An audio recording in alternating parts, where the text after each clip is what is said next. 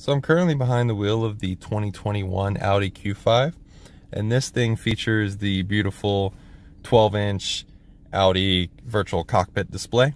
And what not a lot of people realize is that there's actually a few different options that you can switch between when you have the virtual cockpit display.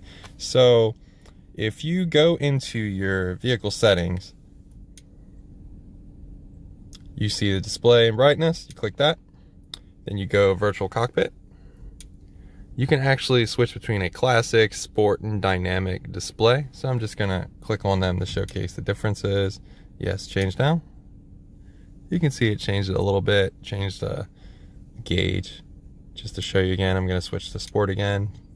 See it changed it a little bit. And dynamic most abruptly changes what the display looks like. Kind of shows it as bar graphs.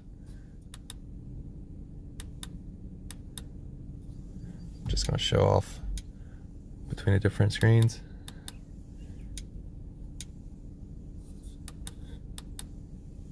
And dynamic again.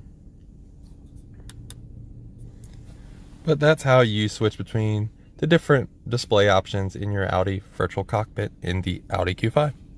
Thanks for watching.